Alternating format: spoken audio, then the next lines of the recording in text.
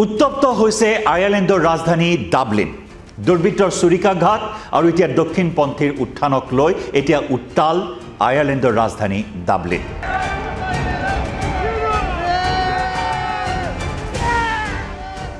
বিগত চৌব্বিছ ঘণ্টাত কেইবাটাও বিক্ষিপ্ত ঘটনা সংঘটিত হৈছে ডাবলিনৰ ৰাজপথত।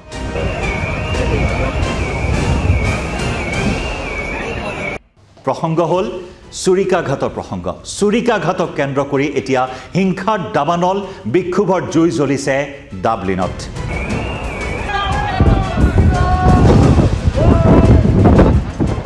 শুকুৰবাৰে এখন প্ৰাথমিক বিদ্যালয়ত দুৰ্বৃত্তই চলাইছিল সন্ত্ৰাস। দুৰ্বৃত্তৰ চুৰিকাঘাটত আহত হৈছিল শিশুসহ চাৰিগৰাকীকৈ লোক তিনিটা শিশু আঘাতপ্ৰাপ্ত হৈ মৃত্যুৰে যুঁজি আছে।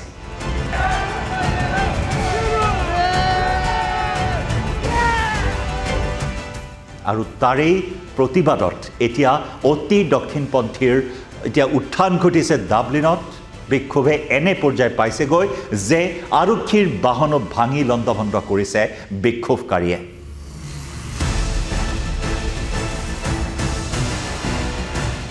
বিক্ষোভকাৰীয়ে লণ্ডভণ্ড কৰিছে তেৰখনকৈ আৰক্ষীৰ বাহন।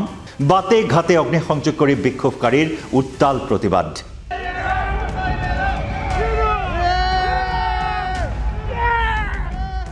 শুকুৰবাৰে সংঘটিত হৈছিল চুৰিকাঘাটৰ ঘটনাটো। দুৰ্বৃত্তৰ চুৰিকাঘাটত তিনিটা শিশুৰ লগতে চাৰিজনকৈ লোক আহত হৈছে। ডাবলিনৰ প্ৰাথমিক বিদ্যালয়ত সংঘটিত হৈছিল এই আক্ৰমণৰ ঘটনা।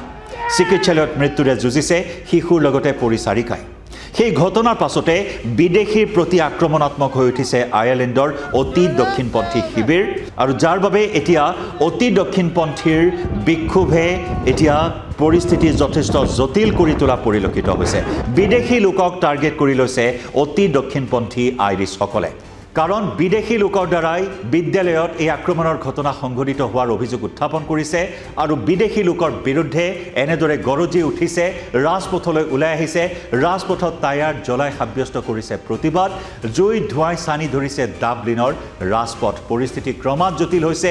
এনে পৰিস্থিতিত চৌত্ৰিছগৰাকীকৈ প্ৰতিবাদকাৰীক আৰক্ষীয়ে আটক কৰি প্ৰতিবাদ দমন কৰাৰ বাবে চেষ্টা অব্যাহত ৰাখিছে।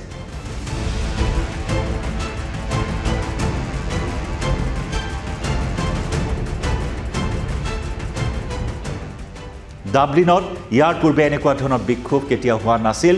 ইতিহাসত প্ৰথমবাৰৰ বাবে এনে ভয়ানক বিক্ষোভৰ ঘটনা সংঘটিত হৈছে।